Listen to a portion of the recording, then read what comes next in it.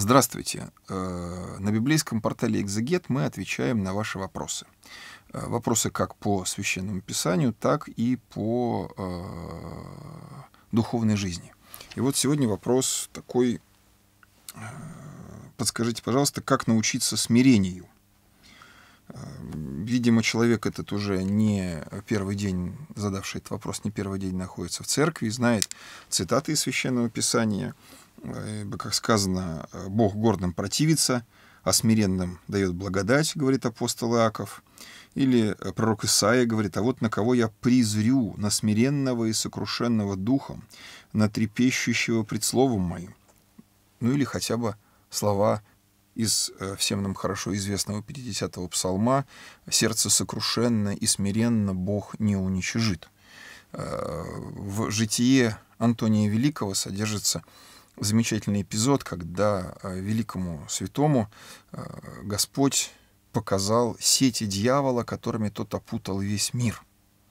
Преподобный ужаснулся и вопросил Господа, кто же сможет избежать этих сетей.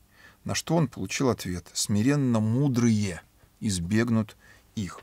То есть э, только люди мудрые смирением смогут и могут избежать сетей дьявола, которые тот многоразлично и многохитро расставил на всех путях нашей жизни. Поэтому достичь смирения, ну или, по крайней мере, хоть как-то приближаться к нему, является одной из самых главных духовных задач. Э, ну, по крайней мере, после того, как человек преодолел грубые грехи, ну, о которых, э, как бы, с которыми и так все понятно. Значит, смирение как добродетель противостоит э, страстям гордости и тщеславия, с которыми действительно бороться наиболее сложно, поскольку они являются страстями духовными, э, не э, плотскими, относящимися к телу, и не душевными, а относящимися к области духа. Вот. И поэтому и борьба с ними очень непроста. Два, собственно, старинных, э, хорошо известных церкви святоотеческих правила, которые я не могу здесь не привести. Это первое э, — заниматься самоукорением, то есть почаще себя э, укорять в тех или иных, указывать самому себе на те проступки, на те недостатки, на свое несовершенство, особенно если оно реально воплощается в тех или иных делах. Но, как известно, самоукорение э, не является вполне эффективным средством, поскольку человек, начинающий укорять себя, вполне может начать гордиться и тщеславиться тем, как здорово он себя самоукоряет. Как говорит нам Златоуст, эти страсти, они как треножник, который, как его не брось на землю, всегда один шип встает э, кверху, одним из этих самых шипов. Поэтому, значит, можно гордиться тем, э, что ты смиряешься, можно гордиться тем, что ты гордишься, тем, что ты смиряешь, и так далее. То есть это бесконечный процесс, сколько бы мы ни пытались себя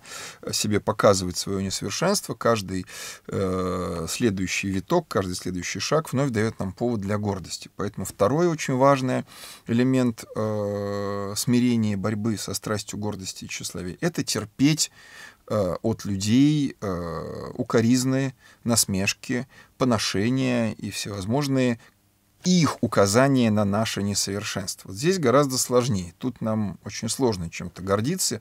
Фактически единственным серьезным искушением на этом пути является только презрение к этим людям, как описано э, в той же книге Ави Дорофея, как молодой послушник легко переносил укорение и хулы со стороны братья. Когда тот его спросил, как ты так легко это можешь делать, говорит, да они как псы лают, что мне на них обращать внимание. Да, то есть если вот это исключить и все-таки понимать, что люди указывают тебе на твои реальные недостатки, это хороший повод, э, опять-таки, не когда ты их попросил, а вот в той ситуации, когда тебе это будет как можно более неприятно и обидно, когда ты готов будешь это терпеть, это все-таки понемножечку помогает нам э, преодолевать нашу гордость. Ну, а для современного городского человека я могу посоветовать три простых правила, три простых фразы, которые нужно почаще повторять самому себе для того, чтобы избавляться от гордыни, от чувства своей исключительности, от чувства своей уникальности и бесподобности и самодостаточности. Поэтому вот первая фраза, которую себе можно почаще повторять, состоит буквально в следующем. Говорите самому себе утром, на обед и вечером. Я обыкновенный, я простой, ничем особенно не отличающийся от других человек. Это страшный удар по нашей гордыне. Мы готовы даже признать свою исключительную греховность, и поэтому нам так легко читать первое правило смирения Ава Дорофея «Я хуже всех». Уж если я в чем-то исключителен, то хотя бы в грехах. Вот это вот чувство исключительности, особенно прививаемое нашим обществом с молодых ногтей, когда дети собирают портфолио свое, начиная с детского сада, когда им говорят об их исключительности во всех их аспектах, даже если поддерживают вот это их чувство и состояние, это первое, с чем необходимо бороться в борьбе с гордыней. Я простой, я обычный, у меня обычные грехи. Ничего удивительного от того, что я согрешил. Э, ничего странного в том, что у меня что-то не выходит. Э, я обыкновенный. Я самый плохой? Нет. Я самый хороший? Нет. Я самый умный? Нет. Я самый красивый? Нет. Вообще я не самый.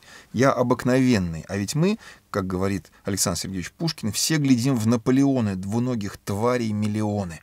Вот, вот надо вот это себе осознать, что да, мы одна из двуногих тварей, коих миллионы, а по нынешним временам и миллиарды. Вот. Я обычный человек, ничего особенного во мне нет. И поэтому то, что со мной происходит, тоже, в общем, обычное. Ничего уникального, ничего прям какого-то особого клинического случая, по поводу которого надо созывать консилиум для того, чтобы продемонстрировать молодым аспирантам вот какое-то исключительное состояние. Ничего такого в нас нет. Второе правило, которое необходимо э, себе же опять почаще повторять для того, чтобы стяжать смирение, это то, что не все мои желания сбудутся. Вот такая простая вещь э, побуждает нас, с одной стороны, не отказываться от желаний, поскольку все-таки мы, мы не буддисты, которые э, призваны своим учением к тому, чтобы вообще желаний не иметь. Мы должны проще относиться к тому, что мы хотим. Ну, я сейчас не говорю про сами по себе желания, что они бывают хорошие, плохие, но даже хорошие, даже благие желания наши сбудутся не все. Можно стремиться к тому, чтобы они сбылись, но к тому, что они не сбываются, нужно привыкать относиться спокойно. И, наконец, третья фраза, которую себе нужно повторять, это «мне никто ничего не должен». Не в том виде, как ее часто повторяют в современном мире, никто никому ничего не должен. Это неправильная интерпретация этой фразы. А именно мне никто ничего не должен. То есть я должен к другим людям относиться не как тем людям, которые окружают меня, я такое солнце, находящееся в центре своей системы, а все остальные вращаются вокруг меня для того, чтобы обеспечивать мою жизнь.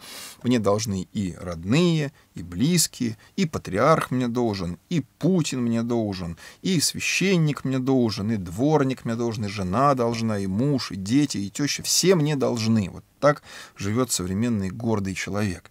А современный смиренный человек с благодарностью принимает то, что дают ему другие люди, внутри себя четко понимая, что они не должны, то есть другие люди не должны им чего-то такое давать. И если вдруг дали, то я сейчас не имею в виду, конечно, обязанности по работе. Если вы директор, э, отвечающий за э, коллектив, вы должны требовать с этих людей, чтобы они исполняли свои служебные обязанности. А вне рамок вот э, четких договорных обязательств, которые заключена жизнь человека, необходимо относиться к другим людям так, что они вам ничего не должны, а вы должны. И вот если эти три простых правила «я обычный», не все мои желания сбудутся, и мне никто ничего не должен, вы постараетесь постоянно удерживать в уме и сердце, то можно сказать, что ваша гордыня, если и не побеждена окончательно, то, по крайней мере, где-то там уже в таком приглушенном состоянии находится, и э, вы находитесь на правильном пути.